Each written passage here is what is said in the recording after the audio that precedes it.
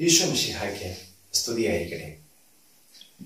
ഒരു ജപ്പാനീസ് കവിതയുടെ തർജിമ ഓർക്കുന്നു. അടച്ച കുപ്പിയിലെ വെള്ളത്തിന് ജീവനുണ്ട്. പക്ഷേ അത് ചത്തുപോകും അടച്ച കുപ്പിയിലെ വെള്ളത്തിനും ജീവനുണ്ട്. പക്ഷേ അത് ചത്തുപോകും ജലം മരിക്കുമ്പോഴാണ് യഥാർത്ഥത്തിൽ അത് ജീവിക്കുന്നത്. ജലം ഒഴുകാനുള്ളതാണ്. അത് നനയ്ക്കാനുള്ളതാണ്. അത് ജീവൻ നിലനിർത്താനുള്ളതാണ്.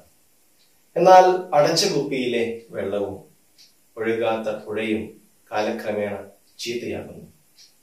കെട്ടിക്കിടക്കുന്ന വെള്ളം കെട്ട വെള്ളമാകുന്നു. അത് വിഷമാകുന്നു. വെള്ളത്തിന്റെ ഈ സവിശേഷതയെ വിത്തിന്റെ ഭാഷ്യത്തിൽ സംസാരിക്കുന്നതാണ് ഇന്നത്തെ സുവിശേഷത്തിന്റെ ആകെത്തുക. വിത്തിൽ മരമെന്ന പോലെ ക്രിസ്തുവാകുന്ന പടുകൂറ്റൻ ജീവവൃക്ഷത്തെ ക്രിസ്തു ഈ കൊച്ചുവാക്യത്തിൽ വചനത്തിൽ ഉൾക്കൊള്ളിച്ചിട്ടുണ്ട്. ക്രിസ്തു ജീവിതവും ക്രിസ്തീയ ജീവിതവും ഈ വചനത്തിൽ നമുക്ക് വ്യക്തമായി കാണുവാൻ സാധിക്കും. കണ്ണുള്ളവൻ കാണട്ടെ ചെവിയുള്ളവൻ കേൾക്കട്ടെ. യോഹനാന്റെ സുവിശേഷം പന്ത്രണ്ടിന്റെ ഇരുപത്തിനാലിൽ നാം ഇങ്ങനെ വായിക്കുന്നുണ്ട്. ഈ ഗോതമ്പ് മണിയുടെ ഉപമ അതിങ്ങനെയാണ്. ഗോതമ്പ് മണി നിലത്ത് വീണ് അഴിയുന്നില്ലെങ്കിൽ അത് അതേപടിയിരിക്കും അഴിയുന്നെങ്കിലോ അത് ധാരാളം ഫലം പുറപ്പെടുവിക്കും. രണ്ട് വാക്കുകളിലേക്കാണ് ഞാൻ നിങ്ങളുടെ ശ്രദ്ധ ആകർഷിക്കാൻ ആഗ്രഹിക്കുന്നത്. ഒന്നാമത്തേത് നിലം രണ്ടാമത്തേത് വീഴ്ച. യോസപിതാവിന്റെ വർഷവും കുടുംബ വർഷവും ഒക്കെ ആചരിക്കുന്ന ഈ കാലങ്ങളിൽ നമുക്ക് നമ്മുടെ തന്നെ ജീവിതത്തെയും കുടുംബത്തെയും ഒക്കെ ധ്യാനിക്കാം. ഈ രണ്ട് വാക്കുകളുടെ അടിസ്ഥാനത്തിൽ. ആദ്യത്തെ വാക്ക് നിലം. നിലം എന്നത് നമ്മുടെ ഓരോരുത്തരുടെയും ജീവിത അന്തസ്സും ജീവിത സാഹചര്യങ്ങളുമാണ്. എന്റെ നിലമല്ല നിന്റെ നിലം. നിങ്ങളുടെ ജീവിത അന്തസ്സുകൾ ചിലപ്പോഴൊക്കെ ഒരുപോലെയാണെങ്കിൽ തന്നെയും നമ്മുടെ എല്ലാവരുടെയും നിലങ്ങൾ വ്യത്യസ്തമാണ്. ചില നിലങ്ങൾ മൃദുവായിരിക്കും എന്നാൽ അതിൽ വളക്കൂറുണ്ടാകണമെന്നില്ല. ചില നിലങ്ങൾ അതികഠിനമായിരിക്കും എന്നാൽ അത് വളക്കൂറുള്ള മണ്ണായിരിക്കും. ചില നിലങ്ങൾ കാണാൻ നല്ല ഭംഗിയുള്ളതായിരിക്കും. എന്നാൽ അതിൽ ജലാംശം ഉണ്ടാകുന്നില്ല ചില നിലങ്ങളിൽ ധാരാളം ജലാംശം ഉണ്ടാകുമെന്നാൽ അത് തന്നെയായിരിക്കും ആ നില നേരിടുന്ന ഏറ്റവും വലിയ ഭീഷണി. ഞാൻ പങ്കുവെക്കാൻ ആഗ്രഹിച്ചത് നമ്മുടെ നിലങ്ങൾ വ്യത്യസ്തങ്ങളാണ്. നമ്മുടെ നിലങ്ങൾ വ്യത്യസ്തങ്ങളാണെങ്കിലും നമ്മുടെ നിലപാടുകൾ അതൊന്നേയുള്ളൂ. ക്രിസ്തീയ നിലപാട് ഒന്നേയുള്ളൂ. അത് നിലത്ത് വീഴുക വീഴുക എന്നുള്ളത് തന്നെയാണ്. രണ്ടാമത്തെ പദം വീഴുക. വിത്തിനെ സംബന്ധിച്ചിടത്തോളം ഈ ഉപമയിലെ ഗോതമ്പ് മണിയെ സംബന്ധിച്ചിടത്തോളം നിലത്ത് വീണെങ്കിൽ മാത്രമേ ഇനി അതിന് ജീവിക്കാൻ പറ്റുകയുള്ളൂ. നിലത്ത് വീണെങ്കിൽ മാത്രമേ ഇനി അതിനൊരു ഭാവിയുള്ളൂ അതിന് ഫലം പുറപ്പെടുവിക്കുവാൻ സാധിക്കുകയുള്ളൂ. നിലത്ത് വീഴുക എന്ന സംജ്ഞയ്ക്ക് ഉത്തരവാദിത്വം ഏറ്റെടുക്കുക എന്നുകൂടെ അർത്ഥമുണ്ട്. ഉത്തരവാദിത്വം ഏറ്റെടുക്കുക എന്ന് പറയുമ്പോൾ തന്നെ നമ്മളിൽ പലർക്കും ചിലപ്പോൾ ഒരു ഒരു വിഷമം തോന്നും കാരണം ഇത് ഞാൻ ചെയ്യാം.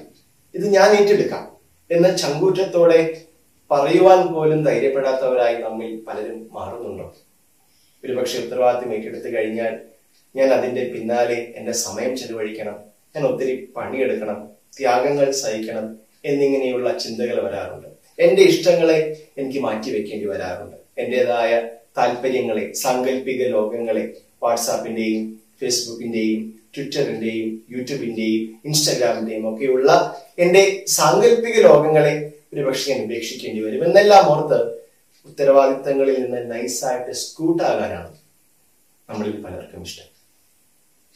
എന്നാൽ ഈ ഇഷ്ടം വലിയ കഷ്ടത്തിലേക്കാണ് നമ്മളെ കൊണ്ടുവന്നെത്തിക്കുക വചനം പറയുന്നുണ്ട് ഫലം തരാത്ത വൃക്ഷങ്ങളെല്ലാം വെട്ടി തീയിലെറിയപ്പെടും.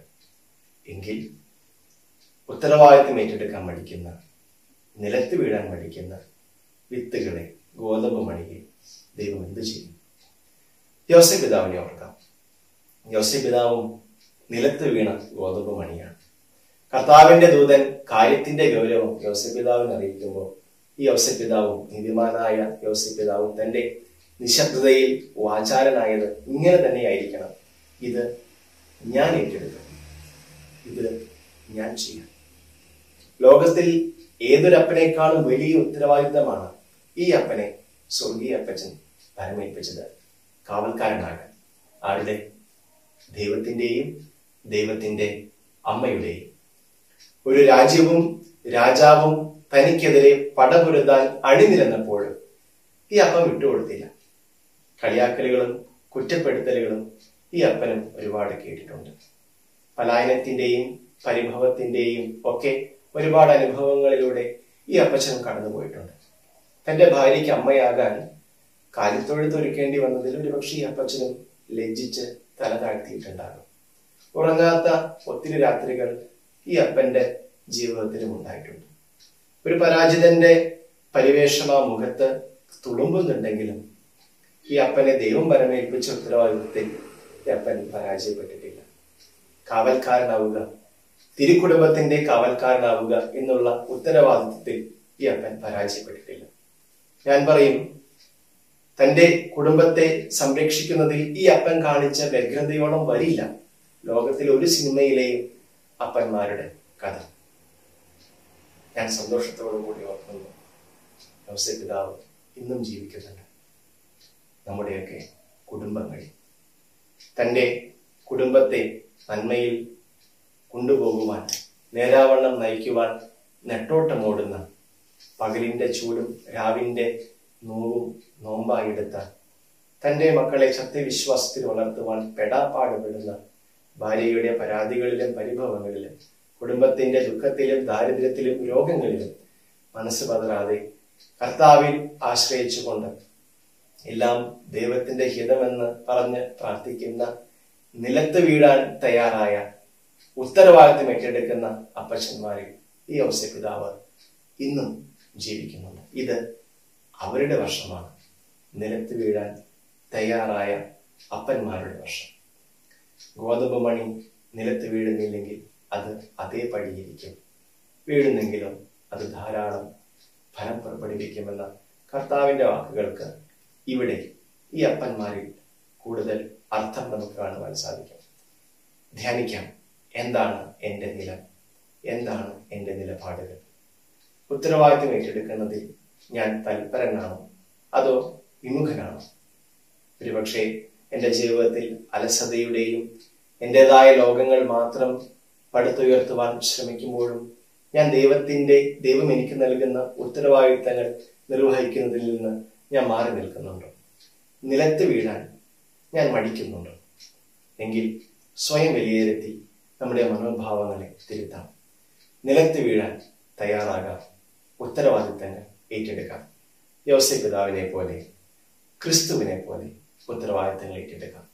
യോസെ പിതാവിന്റെ മധ്യസ്ഥ നമുക്ക് യാചിക്കാം. സ്വർഗീയ അപ്പച്ചന്റെ അനുഗ്രഹവും നമുക്ക് തേടാം. ദൈവം നമ്മെ അനുഗ്രഹിക്കട്ടെ. ആമേൻ.